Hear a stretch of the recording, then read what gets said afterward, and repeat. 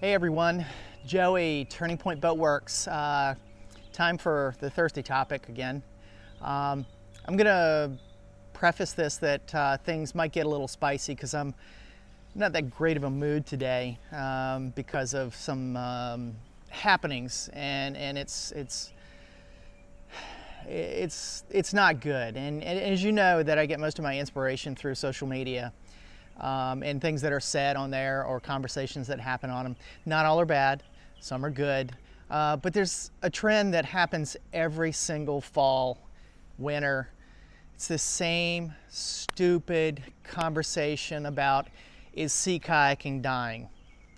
Um, I came across an article through social media, obviously, uh, from Paddling Magazine uh, that was titled The Fall and Rise of Kayak Touring. Um, and this is a really great take on, you know, the fact that things are changing. Um, it's not about the participation is falling off or anything like that. Things are changing. Um, if anything, the past three years have taught us that things change rapidly in life. And if you're a business, either you change with it, you adapt, or you fall away. Um, so, and that, that goes, you know, for every single thing that we do. Uh, in this case, I'm specifically talking about paddle sports. Uh, what we saw during the pandemic uh, was unprecedented demand, unprecedented um, difficulty in getting materials and also the labor force in order to uh, adapt to those that that demand that was coming on. So, um, you know, the change for the business was slow and it's sort of like a rubber band effect. We got stretched, then we reacted. Uh, bang, all of a sudden the shelves are full again and the, uh, the naysayers and the doomsdayers are all chiming in now and I'm fucking tired of it. Um, this business is changing and the sport is changing and we need to either accept that and move with it or just get out. Um, this negativity I see, you know, there's been some changes on the business front for two very well you know, known manufacturers. Uh, and of course, the naysayers and stuff start beating the drum of, oh my God, all is all is, is the sky's falling, all that kind of stuff. And the truth of the matter is, is they're adapting.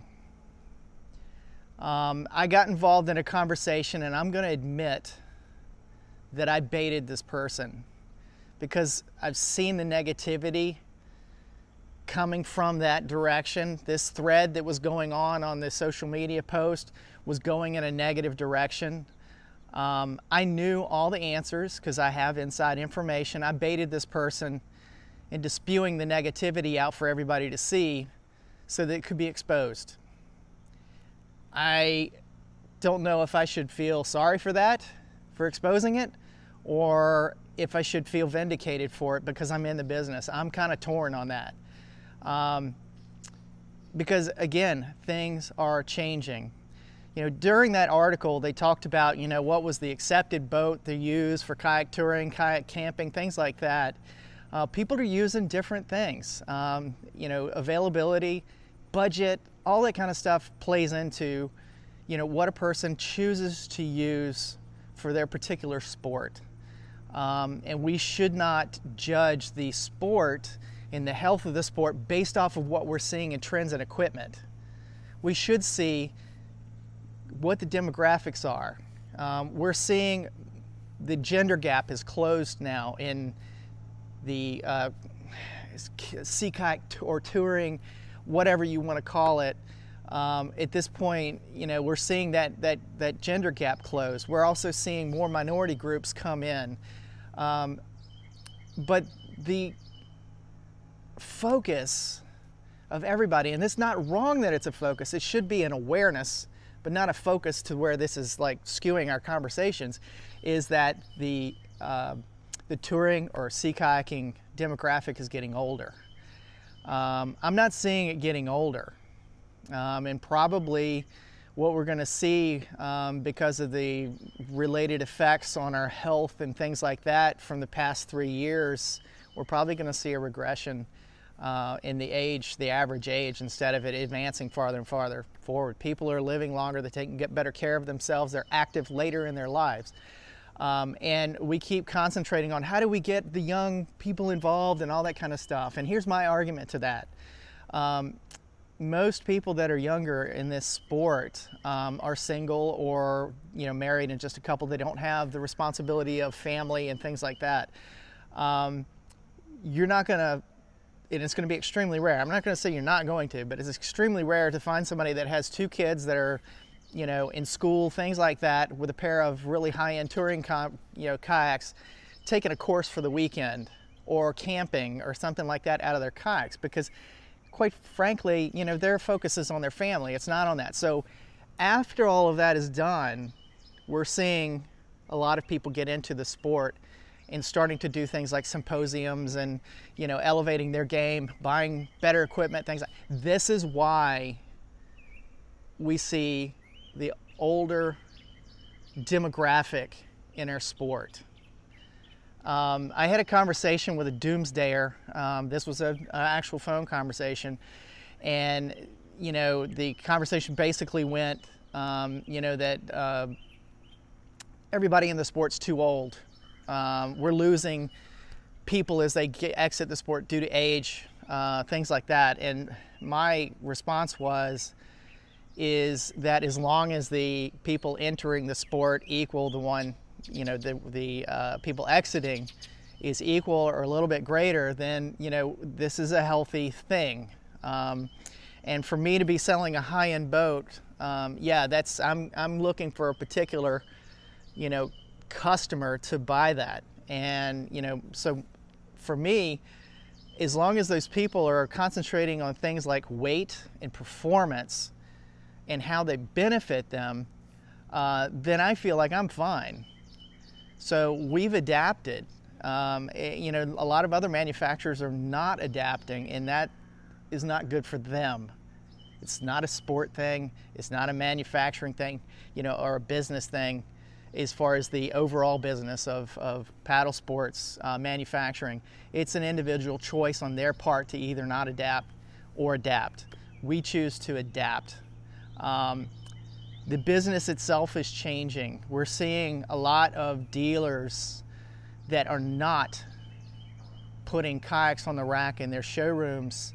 They're not warehousing stuff. They're not doing pre-orders because the trends are that people, if they're going to spend the kind of money that it takes to, to acquire a composite kayak, they want it to be theirs and not something, the colors, the layup, the, you know, everything else chosen by a person placing a pre-order and guessing on what people will like. They want what they want. And truthfully, if I'm gonna spend five to six thousand dollars on something, I want what I want. And that's what's happening in the business now. Special orders are far more common than buying something off a shelf. So, you know, to all the naysayers and all of the doomsdayers on there, sea kayaking is not dying, it's changing. The name of it is changing. It's more touring than anything else. I, you know, particularly fall into the category of open water performance, kayaking or touring. Um, but all of these things are all very good for the sport.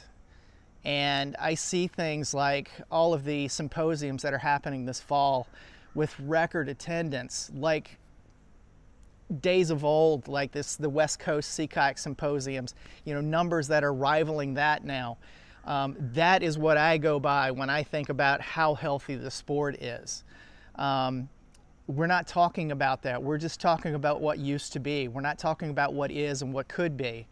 And I think that if we stay stuck in the past, the manufacturers are not going to respond with new designs, better materials, advancements, because there's no need, because they're, you know, we're, we're, we're living in the past, or we think forward and make things better. You get more for your money, you get more performance for your money, and we keep marching this business forward rather than being stuck in the past. So is sea kayaking dying? Not on your life. Um, and, and you know, every time I see this on the on the internet, I'm going to take exception to it, and I'm going to speak my mind, and it's not going to be nice um, because I'm tired of this, and you know, to keep swirling in, in rumors and things like that online with you know again behind the, the anonymity of a keyboard um, it affects my business it affects the business of kayaking it affects a lot of things so it needs to stop we need to stop having this stupid conversation about it and start looking forward.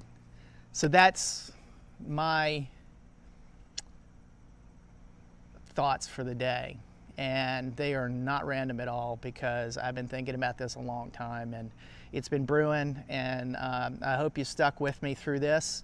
It's not my usual MO. And um, but yeah, I, I, get a little pissed off about things too. And it's not all sunshine and rainbows all the time. And um, so, you know, I want to see the sport grow.